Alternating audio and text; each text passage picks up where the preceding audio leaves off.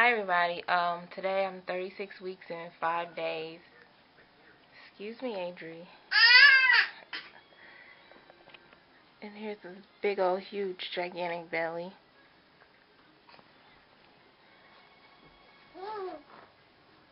Hope you can see it's kind of dark. Oh, gosh.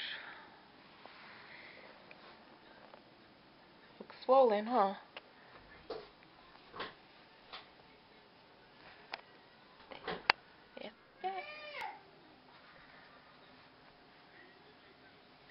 to do this like a whole shot.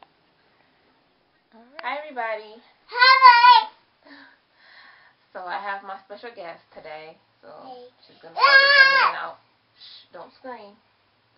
So today I'm 36 weeks and six days. Tomorrow I'll be 37 weeks. So this is a kind of a late video later than I usually do. But I'm gonna talk about my 36 weeks. Yes, you. Um, so this week I've been like really, really tired, sluggish, slow, all of that. Um, haven't wanted to do anything this week. You going side to side, okay. I haven't wanted to do anything this week. I haven't wanted to do like I don't want to do anything. Nothing. Grocery shopping, nothing. Um I'm just so tired also my brain has like officially like shut down. I can't I can't focus on anything. I can't concentrate on anything. I'm just thinking like I just want to sit here and just stare at the wall and I'll be happy.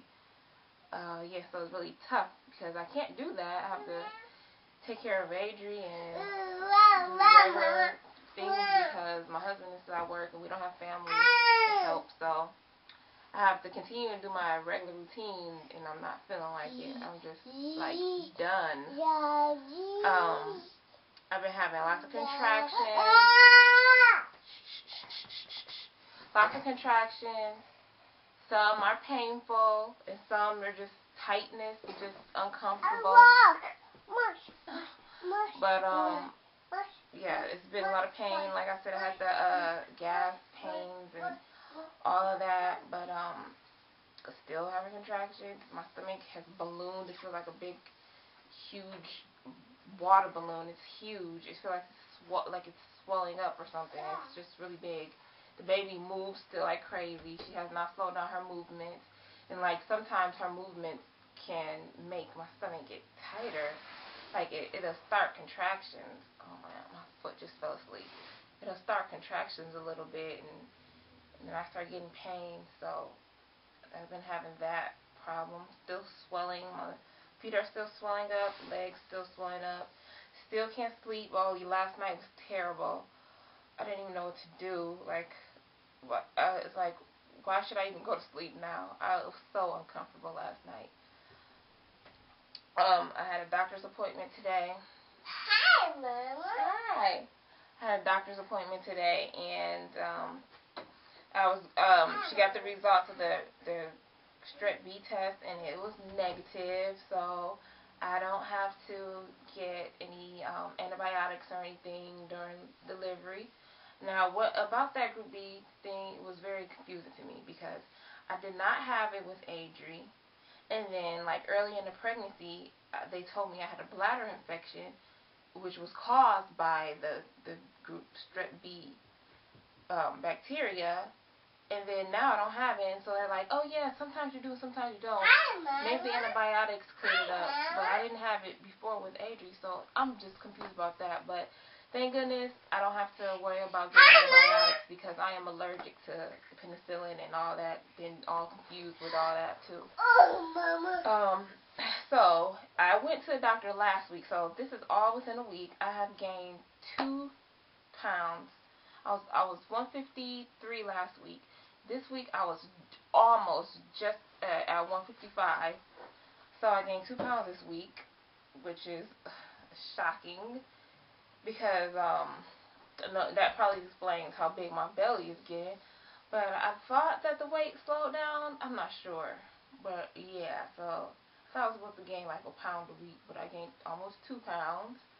Um, another thing she told me, I, she checked me and she told me I was um still dilating. Last week I was like one to two, so it was um it was almost two. This week I'm two to three, almost three, and she said that um I was 75% effaced. Last week it was 50%. And so she was like, this was not my doctor this time. It was the um, PA, her um, assistant and she was like, it seems like my body is really progressing because that was only a week, and um, usually people stay at a certain a certain diet, uh, they stay dilated a certain centimeter for like weeks, and so so I'm progressing, and the baby said she could feel the baby's head, so the baby's head has come down, and she even told me that um that I could uh probably have her this weekend. She said that it, it could it could happen like if I was walk and do all the other stuff that you know everybody tries to do to start labor. And um, she said so I might not make it to the next appointment. Well, I don't know. So you know they always say that it's just the estimate, but um, and everybody's different. But uh, I know I had Adri early and my body is like shutting down seriously. And I remember when I was uh the week I had Adri, before then I was like cleaning like crazy, nesting like crazy, and that's what I was doing this time. And then all of a sudden one week I just stopped, and I was just so tired, and I just wanted to rest, and I didn't want to do anything. And then until the day I went into labor with her, then I started cleaning up again. And that's how I've been feeling.